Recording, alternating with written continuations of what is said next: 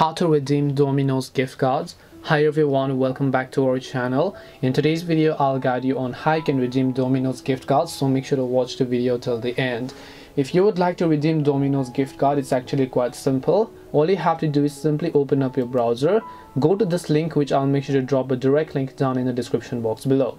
Before you try to redeem your gift card, the first step you have to do is activate your gift card. So after coming to this website which is the official site, scroll down and here you can see activate. So make sure to simply activate your card by simply entering your card number over here. Once you enter your card number over here, make sure to also go ahead and then enter the card pin and then after that make sure to enter your mobile number. Make sure to verify the I'm not a robot captcha Click on the get OTP option. It will send an OTP code to your mobile number. Once you verify the OTP code, your gift card will get successfully activated over here.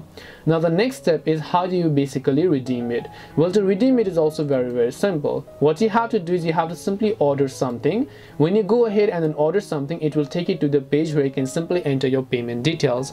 Inside the payment option, you have to select gift card and then depending upon the balance on your of gift card, it is going to get successfully added. If you want to check your balance, balance right on the right hand side you'll find check balance or validity make sure to click on it now just enter your gift card or voucher number over here once you enter your gift card or voucher number verify the captcha click on submit and then you'll be able to basically click the balance inquiry and validity of your gift card this way you'll be able to activate check the balance as well as also redeem your Domino's gift card. Hope this video was helpful. If you have any questions, feel free to leave them down. Thank you for watching and see you in the next video.